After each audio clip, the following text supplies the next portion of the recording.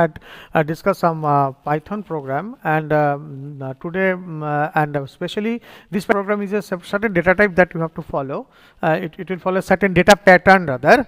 Okay, that is actually known as the Pell series. All right. So I'm just opening the file for you and you see this program. Okay, and that I will um, also brief you about this particular uh, program okay so the program name is pl.py okay that is the python uh, that is the python program okay that is the thing and uh, this particular program is actually following a certain data set okay certain uh, certain things in this thing. I'll just open you can read it out. The Pell series actually having 1 2 5 12 and uh, 1 2 5 12 uh, 1 2 5 12 29 70 then uh, 408 and 169 408 in that way it will be proceeding. Fine. So now what is happening here? This particular thing a and 1 and 2 has been printed first only and then from 2 to 11 9 more numbers to be printed. Fine?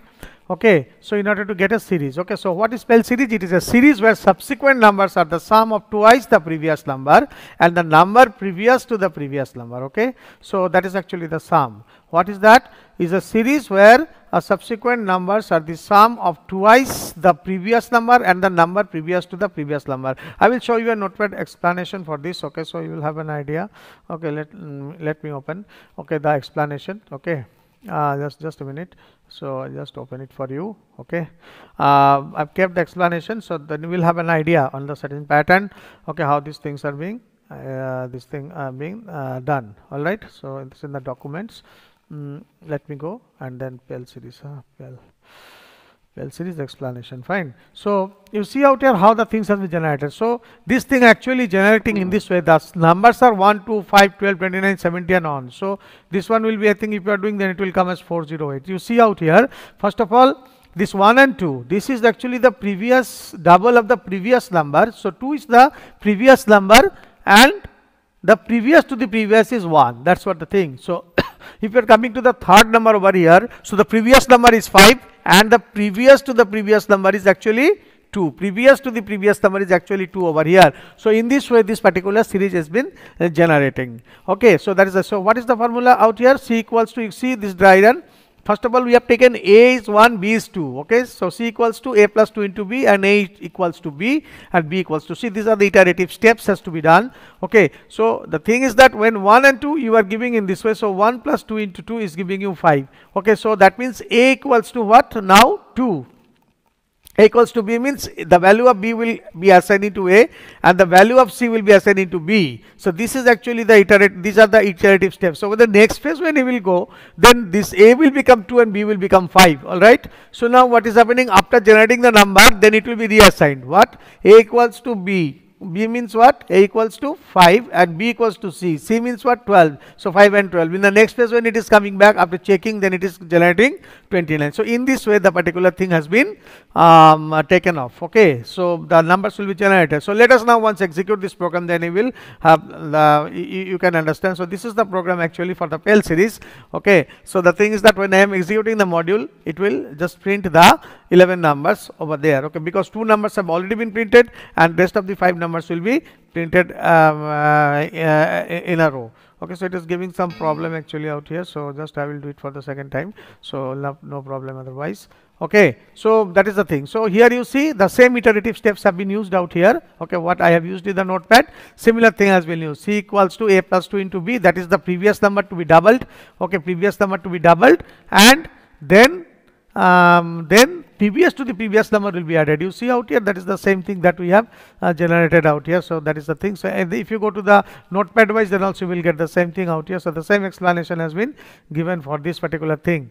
Alright, so you see out here 1, 2, 5, 12, 29 and so on. Alright, so that is the thing. So this is actually the Pell series that has been generating. So where the Pell number is what? The uh, twice the double and previous to the previous number to be added. So sum of the, uh, the double of the previous number and the previous to the previous number will get added in order to get the next term. That is the thing. So if you're talking about the 29, so 29 into 2 is 58, 58 plus 12 is 70. So the 70 will be generating out here. So this is actually called the uh, Pell number series, Pell series. Okay, so that can be generated in that way by reassigning by using the for loop. However, it is possible with the while loop also. You can do it with the while loop also that is there. Okay, that is the thing.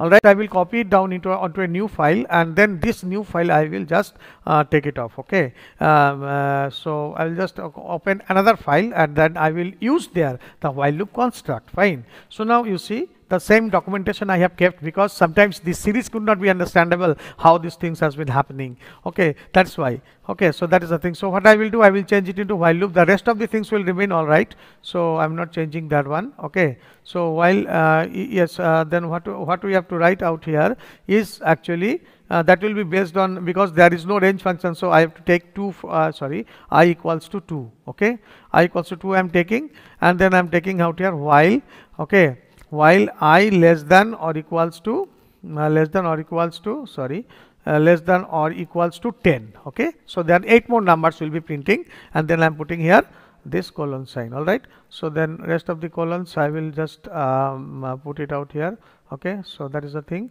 and rest of the things will remain as it is okay? And here what i need to do is i have to give one uh, increment over there because uh, because when we had used the range function in the range function there is certain things are there. There are certain things uh, uh, are not required. Why you know? Because the range function automatically if you don't give any step it will increase by one step. The previous one will be upgraded into one automatically. So that is not required much. Okay so but when you are using while that such thing won't happen. Because the range function is not present out here. That's why it is not possible. Fine. So now what exactly you need to do is i equals to i plus 1 when you are giving then actually you are just animating the loop. Fine animating the loop in the sense means that is a updation step. It is going over there and checking whether the existing condition is true or false. If the existing condition is true in that case what will happen? The rest of the iteration the next iteration will be taken place. But when the iteration will be uh, false. Oh, sorry. When the condition when the check will be false okay? When this checking will be false. Suppose i has become up to 10 we had told for okay? Then if it is after 10 it will become to 11 fine. So 11 is neither less than nor equals to 10 so it will not be executing. So the condition is becoming false the loop will be out of iteration. Fine. So that is the thing. So that's why here if we don't give this one then what will happen? I will uh, stand still at 2 only. It will be a static 2 only. It's not change anything. Okay? So just we are just to actually implement the dynamism in the loop, we are actually using the updation step. So I'm giving one documentation out here of what is updation about. So without updation, a loop cannot be animated. Fine. Or it cannot proceed further. Okay, so it will just stop over there. It will become an infinite loop over there. So that's why this particular thing has been provided out here. Okay, so that is the thing. So now what is happening, in fact, you know, so this particular program has successfully done and now we will just execute it and to check whether the output is coming properly or not okay now now let, let us let us check it out okay? What is actually being happening out here? So first of all we need to save it. That is the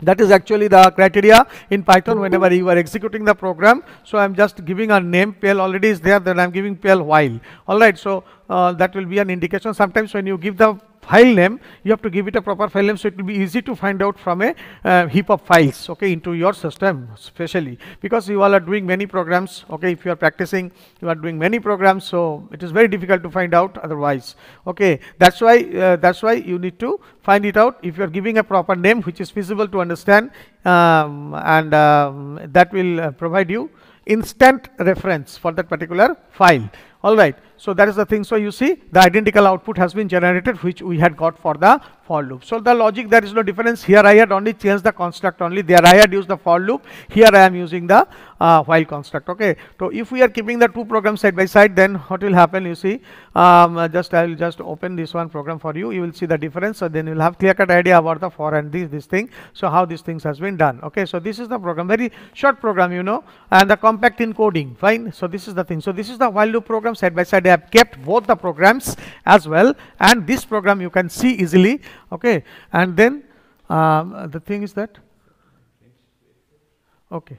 Uh, and the thing is that uh, this particular thing uh, this particular thing actually mm, uh, being done okay. So um, so uh, what is happening in fact what is happening in fact this um, so uh, this particular thing, uh, when you are actually executing these uh, particular uh, programs and all, so then what is happening? Uh, then you have you have you have got this clear-cut idea about that loop construct about okay what is actually meant for. Okay so i'm going back to the program once again. Um, just a minute. Uh, here. All right